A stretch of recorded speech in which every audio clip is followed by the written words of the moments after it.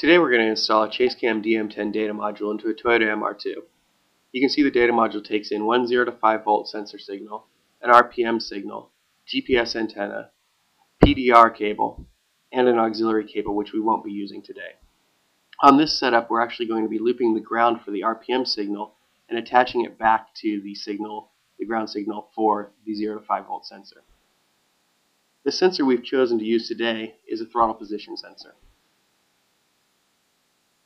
You'll see here that we've taken the throttle position sensor and unplugged it and identified which wires are the signal wire and the ground wire. The signal wire will send back to the plus on the data module. The ground wire will send back to the minus. Similarly, we've tapped into the vehicle RPM signal on this car. Because it's a mid-engine car, the RPM signal runs along the driver's side door sill from the engine up to the dash. We've pulled this panel and tapped into the RPM signal and sent that signal to the plus on the RPM port on the data module.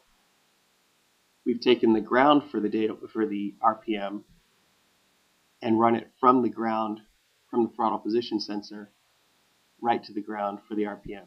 So there's a little cable going between the minus on the RPM and the minus on the sensor input on the data module.